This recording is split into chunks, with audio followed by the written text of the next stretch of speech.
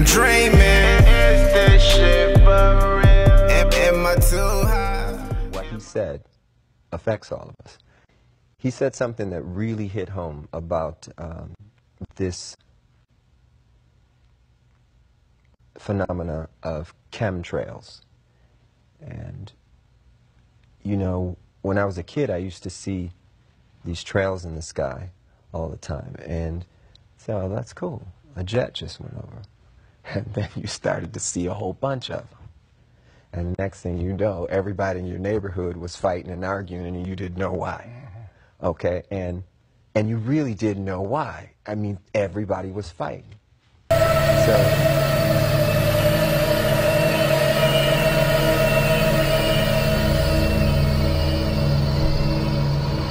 Could a strange substance found by a southwest Arkansas man be part of a government test? Well, that's the question at the heart of a phenomenon called chemtrails, now getting widespread attention. Well, they say the government is dumping chemicals on us to control or manipulate the weather. And they say the unusual looking jet trails in the sky are actually chemical laden chemtrails. People say the government is up there in airplanes spraying all kinds of chemicals to change or manipulate the weather, leaving what you see there, and they call that a chemtrail.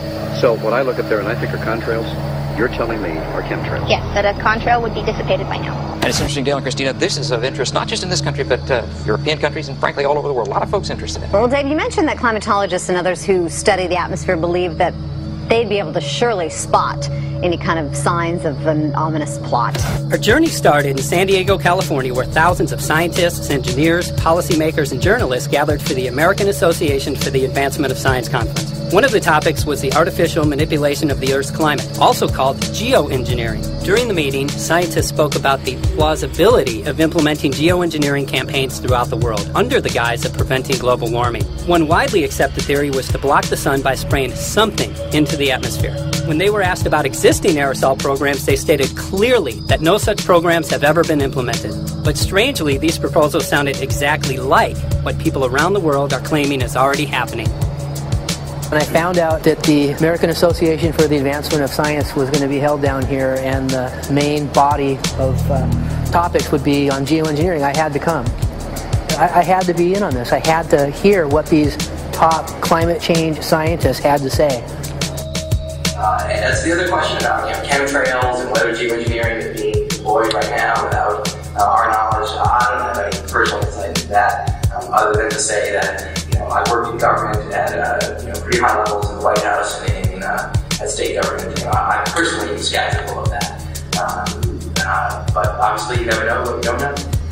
Chemtrails. On the internet, they are cited as proof of the government creating clouds to combat global warming. They claim the American government, with the secret approval of the national government, is covertly using jet aircraft to spray population centres with aluminium, with barium, and with strontium so as to reduce people's immunity and reduce the global population.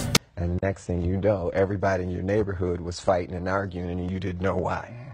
Okay, and and you really didn't know why. I mean, everybody was fighting.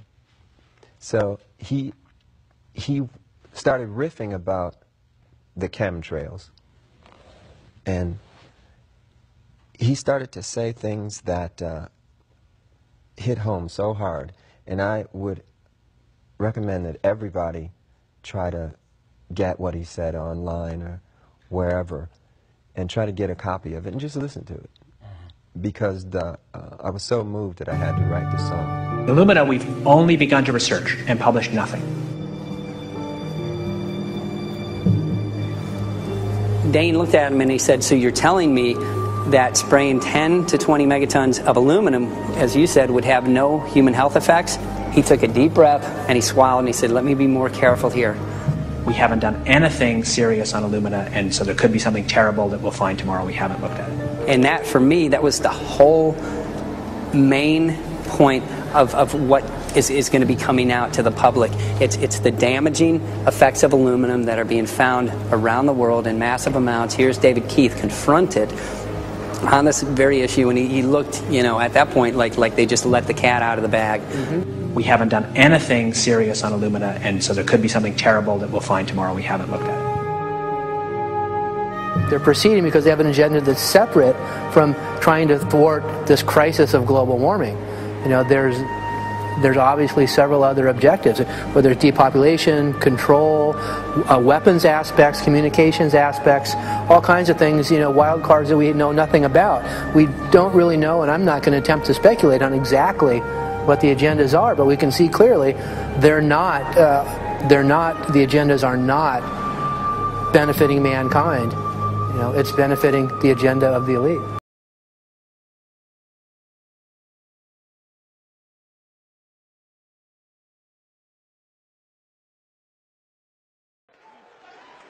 When you leave with all the hassle, can you have that love? Love. I'm so tired of you black folk walking around looking all evil like that's going to change something. looking all mean and talking all crazy. Let them tell you about your children. If I sit here today and these are all white folks and they're putting some sleeping pill in my water, and I sit up here and doze off and go to sleep, and everybody told in the world, niggas is lazy. They tired. No, that's because you too naive enough to know what they putting in my water. Okay? Your children ain't violent because they black. They ain't violent. Most people in the world live in a ghetto. They don't kill people. What are you putting in my malt liquor, white boy? What are you putting in? Huh? Hear me. And it's your fault too. Malt liquor is made by white companies, but only sold in black neighborhoods, and you ain't checked it to see what's in it. Huh?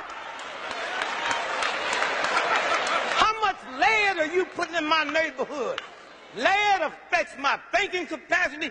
Lead is only one thing on the planet more dangerous than lead, and that's manganese. Manganese will make you kill your mama. And let me tell y'all something.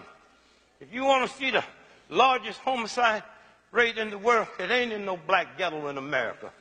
It's a little town in Australia where them white folks' homicide rate is 200 times what their population is. And that town just happened to be located across the street from a manganese plant. Sit, sit back down, That- Dick. Don't lose that mic. Yeah. That, that town is located across the street from a manganese plant. How much manganese are you spraying in my neighborhood at night while I'm asleep? How in the world can a nine-year-old child find a heroin man, but the FBI can't find it, and you gonna tell me that's a black thing? Y'all crazy? What is this about? These are the things that need to change while this brother and sisters on their way to the White House. And when you see Hillary and y'all see Brother Barack, thank him for me. And you white folks need to be thankful. Because if y'all had a brother like me, y'all would really be in trouble. That's right. That's right. That's right. That's right. Okay? Ladies and gentlemen, Dick Gregory. And this is why we tell our people to wake the hell up, man. The white man is not your friend. Never has been and never will be. He's the devil that the Bible speaks about. He is the damn great Satan that the Quran speaks about. He is the pale forked tongue that the Native Americans spoke about. He is the one to bring havoc, the great white dragon that the Chinaman spoke about. That's what the so-called white man is. Look all over this earth and look at one culture that loves him. You can't find one culture, not one. Not one! The East Indian culture said that he is the one that Vishnu and Shiva spoke about. The one to terrorize our land. Look it up! That's our people's problem. And that's everybody's problem on this earth. They fooled you and you to make them think that what? They are the number one man, woman, and child on this planet. How could they be how could you be minority and they majority? When you damn white people only make up 2% of the population of the planet Earth. Just 2%, those are facts, brother. How can we know that's not fact? And they ask you this, brother. Is China a colored people? Yes, they're melanated people. You understand? Go all Asia and Asia Minor, those are melanated people. When you come to North, Central, and South America, it's melanated people. Where'd the white man come from? Huh? Out the gaze of Europe. He's the only man on the planet that is not melanated. So who's the goddamn minority? The white man is. But it's niggas like us, our people walking around, white man is okay. White man's cool. Then when you see us talk about the white man, them Israelites are crazy. Them Israelites, hey, we, we, we love you, Israel. The Most High told us to come to you and make your ass repent. Give me Isaiah 58 and 1, man, and read that with a loud voice. Why they yelling? Because God said to yell at your simple ass. We ain't, you want to hear some whispers? Go to church tomorrow. And they'll whisper all day and shake a pot in your goddamn face. Read what you got. Come on. Isaiah chapter 58, verse 1. Come on. Cry aloud. No, the Lord said whisper. Cry aloud. No, the Lord said talk low to them. Cry aloud. He said cry aloud and do what? Spare not. Spare. So if your feelings get hurt, y'all gotta take that up with God. Read your Bible.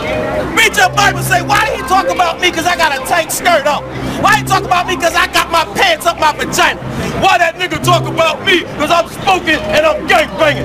Because God said so. You take that down for God, man. Read, man. Come on. Lift up that voice like a trumpet. He said, lift up that voice like a trumpet. Read, come on. And show my people their transgressions. We're supposed to show you your transgressions, man. Read.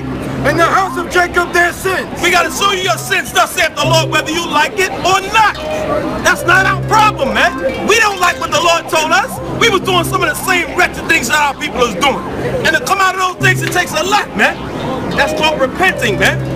Coming from the Greek word metanoia, repent, which means radical change.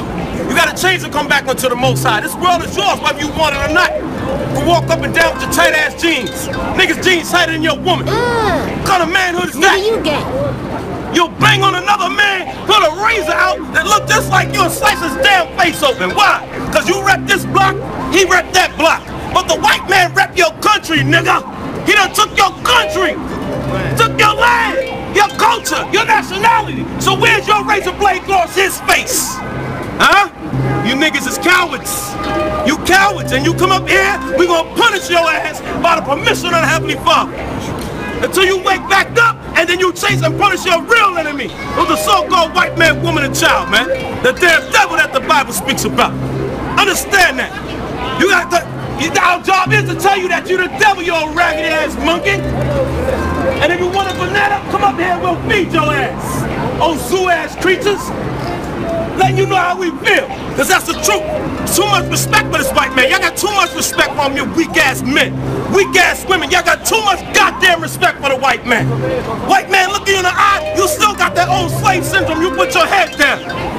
White man tell you, what are you doing here? You explain everything to him like he's your goddamn mother. Well, I was just waiting for my friend because my friend said this. Tell him none of his business. I'm not doing nothing wrong, but you ain't got the heart to do that. Let another black man ask you a question, you ready to curse him out. Let a Hispanic brother ask another Hispanic brother, hey, well, what he bro? Yeah, that nigga Dominican, he's stupid. Man, you niggas gotta wake the hell up, man. You all the same people from the nation of Israel. There are 12 mighty children, 12 tribes that the Heavenly Father set up and ordained for you to take back over this goddamn planet. Give me Deuteronomy 7 and 6. And you give me Deuteronomy 10 and 15. Read that, man, with a loud voice.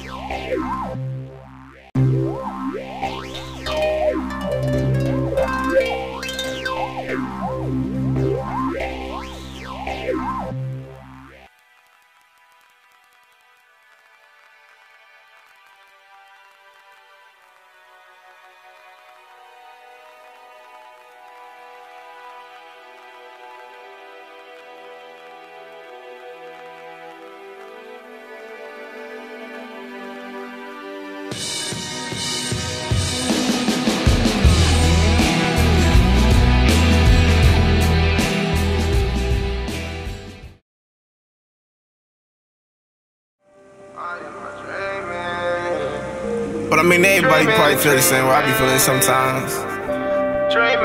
It's like sometimes you be like, damn, like, you know, like, like is this shit for real? I, am like, is this shit for real? Is this shit